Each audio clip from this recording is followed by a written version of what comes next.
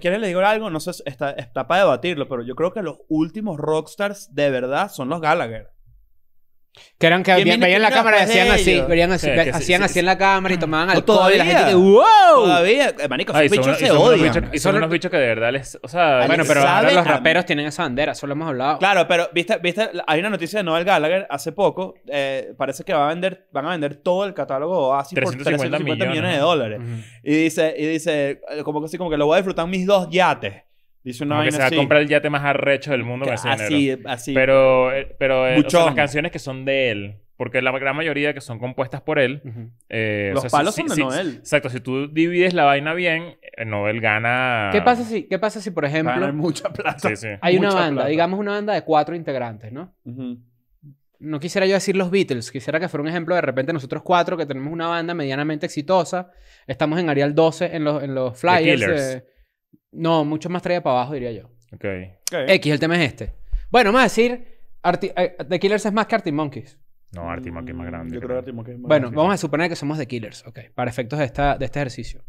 Si yo soy el bajista de The Killers y yo me voy para el coño y la banda sigue, ¿qué cheque me cae a mí? Te cae. Sí, si a ti te dieron un crédito de compositor en todos los temas, te cae cuando tocan en vivo y cuando suenan en la radio. Siempre me a caer. Siempre. Sí, sí. Eso es lo que llaman en las regalías. Sí, o sea, en, claro. en- justamente en Inglaterra Sí, ocu- ocurre crédito. algo muy interesante que yo no sé por qué no pasa en Latinoamérica. Bueno, a veces porque somos, porque estamos en el tercer mundo. Pero esto me lo explicó Tony cuando fuimos a- nos fuimos a presentar en, en Londres. Tony Presidio, pero la gente que no sabe es Vico sí. Claro. eh, él y yo salimos a un bar la noche anterior al, al show de Escuela de Nada y él me estaba contando que cuando suena una canción un local, o sea, el, el selector pone la canción y suena Wonderworld de Oasis, ya Oasis gana. Sí, claro. Oasis gana plata. La- los locales tienen que pasar como Tienen, al... tienen que al- pasar un, re- un registro de su playlist que ha sonado cada día y, y, el, y no sé quién es el que se encarga de pagar. Me imagino que es el Zach Ben de, de, Ah, sí, de- sí, tal cual. de- de- de Inglaterra. Zach Ben era eh, como la jefa de las disqueras, ¿no? Como No, el registro. Es, la que es la encargada de, reco- de recopilar las regalías de las canciones en la radio, Ah. cosa que en Venezuela Pero debe no ser, sirve. debe ser sencillo, monedas, ¿me entiendes? No, no, no. Allá, allá es caimán. Allá es súper caimán.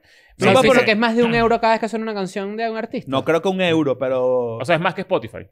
Ah, bueno, pero claro, si Claro, Spotify... eh, tú suenas una canción de Spotify, Spotify le das una cachetada y te escupe la boca. Claro, pero piensa, piensa que si eres un artista medianamente grande, como... ¿quién, quién- ¿Idols de dónde es? Eh, eh, Idols es de Bristol, sí, Inglaterra. Bueno, sí. Idols debe estar ganando plata. Sí, por eso Claro, los de... Nancy, es Lee for Mods. ¿Te gusta Lee for Mods, verdad?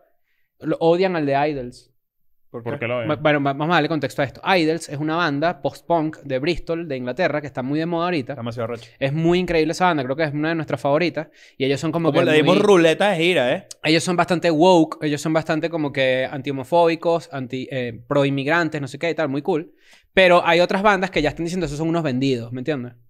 Porque Esa es la típica. Pero porque se están haciendo populares. Bueno, esa es la típica, esa es la Una típica. pendejada. Pero eh, es una banda... O sea, ya... Sí, ya... ya está- es que pasa que está entrando como en ese... Pasó de, de, de telonearle a gente grande a ya tener su Claro. propia identidad como en los De conciertos. hecho, le abrieron un concierto a Foo Fighters en el O2 Sí, ellos No, giraron, creo, y todo. Giraron con, con y, ellos. y- y ellos dijeron que fue como un tema decidir hacerlo. Sí. Porque era, porque era como que, wow, nos van a decir que somos unos vendidos y tal. La gente todavía come mierda con eso. Qué loco que en Inglaterra en verdad son como los creadores del género fuerte, ¿no? Del Sí, rock. claro. O sea, de- de- Sí. de- Y son muy defensores de... Uno siempre asocia punk con Inglaterra. Bueno, por Hasta ahí. que empieza a leer la historia, el ¿no? metal también, como la, la nueva ola del metal también salió de allá. O sea, Mm. como que si... eh, qué sé yo... Kiss, ¿no? Kiss también. Kiss, No, eh, que es gringo. Kiss es gringo. Sí, claro. 100% gringo. Judas 100%. Priest, Judas Priest no es, no es eh, británico. Coño, no recuerdo ahora Inglaterra, sí. pues. te- me, me hiciste dudar, pero... Se te cayó un tatuaje, Leo. Gene Se le cayó un que tatuaje ahí, mi- mira que se le cayó el, el muñe- el- la camisa de monstruo, se le, se, se le, se le tiñó, Mira, no se le hay- no, destiñó, no, no, se hay- le tiñó. Hay un monstruo en la cabeza haciendo así. Eddie está haciendo así con la bandera, Coño, coño, qué vale. chivo. Iron Maiden creo que sí es. Iron Maiden creo que sí es inglés. Iron Maiden, claro. Iron, Ma-. Iron Maiden. Eh, AC/DC. ¿AC/DC es australiano o británico? Australiano. Ah, ¿ves?